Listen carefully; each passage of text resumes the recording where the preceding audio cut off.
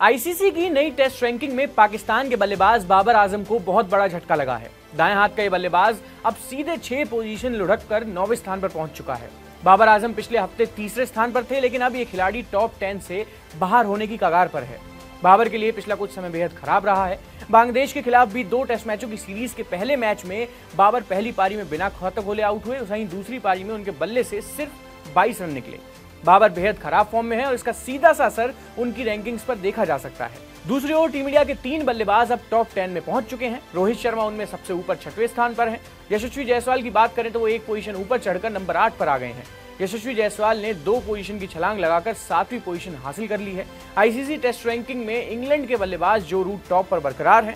New Zealand के Kane Williamson दूसरे स्थान पर काबिज हैं, तीसरे स्थान पर डेरल मिचल हैं। हैरी ब्रूक ने तीन पोजीशन की छलांग लगाकर चौथे स्थान पर जगह बना ली है।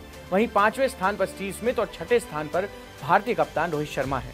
सातवें नंबर पर यशस्वी जायसवाल हैं और आठवें नंबर पर हैं विराट कोहली।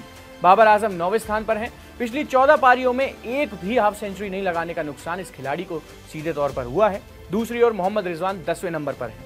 मोहम्मद रिजवान पाकिस्तान के पहले विकेट कीपर हैं, जो आईसीसी की टेस्ट रैंकिंग में अब टॉप टेन में पहुँच चुके हैं। आईसीसी टेस्ट रैंकिंग में शाहीन अफरीदी को भी बड़ा झटका लगा है। पाकिस्तान का ये तेज गेंदबाज अब रैंकिंग में दो स्थान लुढ़क चुका है। शाहीन अब आठवें से सीधे दसवें नंबर पर पहुँच गए हैं। भारत के तीन गेंदबाज टॉप टेन में काबिज हैं। आर अश्विन पहले नंबर पर हैं, जसप्रीत बुमराह और जॉर्ज हिजलवुड दूसरे नंबर पर हैं। वहीं रविंद्र जडेजा की बात करें तो अभी भी सातवें नंबर पर मौजूद हैं।